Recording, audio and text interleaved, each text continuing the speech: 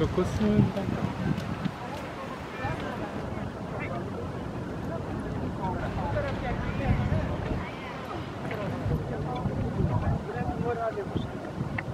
Ya kung kung nada. Çok komedi. Kung nerede?